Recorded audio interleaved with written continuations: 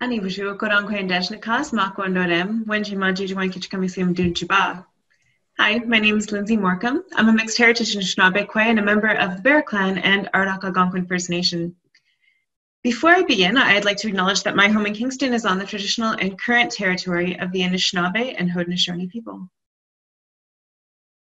I'll be talking today about urban language revitalization. It's extremely important because the majority of Indigenous people in Canada live off reserve and urban centres. Living off reserve is a risk factor for language loss, as indicated by the fact that 45% of First Nations people on reserve are able to conduct a conversation in an Aboriginal language, compared to only 9% off reserve. Urban language revitalization tends to be grassroots. Locally, the Kingston Indigenous Languages Nest, or KILN, offers opportunities to access language and culture. One way that happens is through weekend family focused sessions in various languages. Using qualitative data collected through talking circles, I explore what effects the weekend sessions have on participants' lives. As one of the organizers of KILN, I worked with the rest of our leadership team to develop questions that were relevant to KILN and the community. I recorded data through two talking circles with community members. This research methodology is not only effective, but also culturally appropriate. I then analyzed the data for themes and quantified recurrences. Unsurprisingly, language was by far the most salient code. New learners were able to grow in their language knowledge and use, and more fluent speakers were able to practice and share their language knowledge, sometimes after years of disuse. That was really important in helping speakers move away from the shame they often felt about their languages and cultures because of experiences in Western society and Western education. By learning together, participants were able to expand their domains of language use. They used their languages more at home and in the community. They were inspired by one another because they saw progress in each other and were mutually supportive as like minded language learners. They also found, felt accountable to one another to remember what they had learned at sessions and keep developing on their own. KILN's language pedagogy is unapologetically Indigenous. It's holistic and multi generational. To reach both children and adults, learning is play based, and participants are able to celebrate the knowledge that people of all ages bring. In the case of young children, even when they didn't participate fully, families still saw growth in their language and cultural knowledge after sessions. Participation allowed for the development of a positive language ideology, or beliefs and values surrounding language. As anthropologist Sarah Schulis points out, beliefs about language are never only about language. Participants questioned the idea that language and education should be about jobs and opportunities.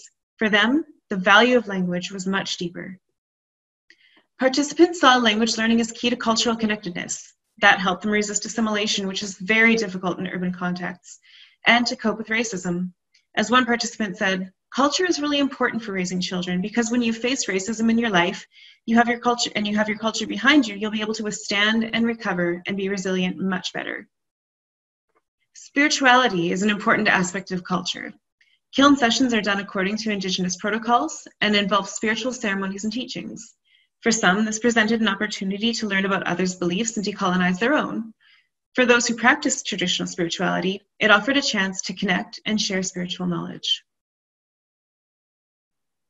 Participants observed that during sessions, they not only performed Indigenous cu culture and spirituality, but also lived it by honoring medicine wheel teachings and the Great Law of Peace, connecting to holistic wellness based in traditional medicines and foods, and reminding themselves of their connections to land and their human and other than human relations.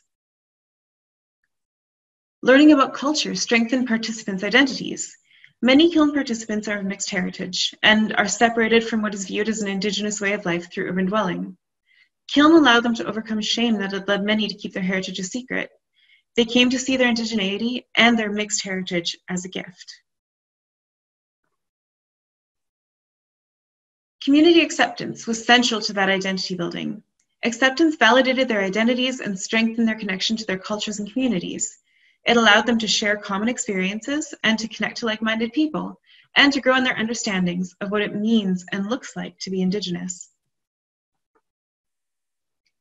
Participants recognized KILN sessions as conscious community building. Through participation, both those who were new to the city and those who were new to their Indigenous cultures found a place to belong and create connections. They reaffirmed existing kinship and clan ties while also building their own unique community. They saw identity and community development as inextricably connected. The KILN community is diverse, and the participants saw diversity as something to be honored. The two languages that are taught most often, Anishinaabemowin and Kanien'kehá:ka, are unrelated. So participants learned how diverse Indigenous languages and cultures are, what commonalities they hold, and why they should be considered equally wise and equally valuable.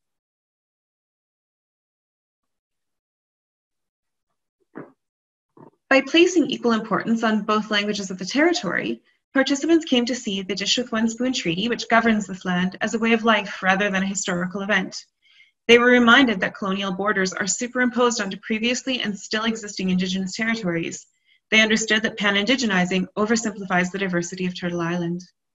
Language revitalization on urban lands also reaffirms the connections to, pl- connections to place by allowing community to come together and create a visible, unmistakable Indigenous presence in the city. That connection and presence validates the urban community as an Indigenous community in its own right. That presence undermines colonial assumptions about Indigenous peoples belonging in cities and the placement of cities on Indigenous lands. It questions the assumption that Indigenous land is limited to reserves it reminds us all that urban spaces are Indigenous land too, and that Indigenous people have the right to belong, exist, and claim space and place in cities.